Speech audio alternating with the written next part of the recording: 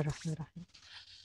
يا سلام. طيب زي ما قلنا عندنا فراخ عندنا بصل عندنا. سماء عندنا فلفل آه، أحمر عندنا كزبرة خضراء وزي ما قلت السر في دي سماء كتير قوي.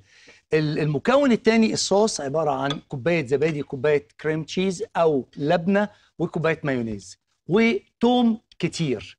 ممكن نعصر عليها شوية ليمون وممكن لأ.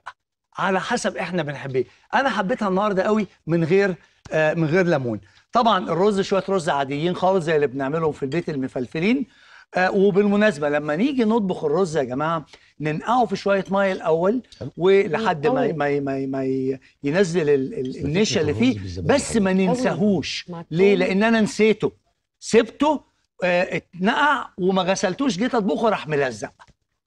بتحصل بتحصل في أحسن العائلات هو إيه ده؟ وأحسن الشفات الرز؟ الرز. فالرز يتغسل ويتصفى ونسيبه بعد كده نطبخه مفيش مشاكل. ليه؟ لأن الرزايه بتخ بتاخد شوية من المية فلما تيجي تطبخه ما تحطش مية كتير وهو بيبقى مفلفل. إيه رأيك يا أبو سعيد؟ لا لا يجنن. بجد؟ حاجة في منتهى الروعة.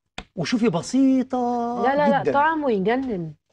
للاشتراك زوروا موقعنا الفا أو اتصل على الأرقام التالية.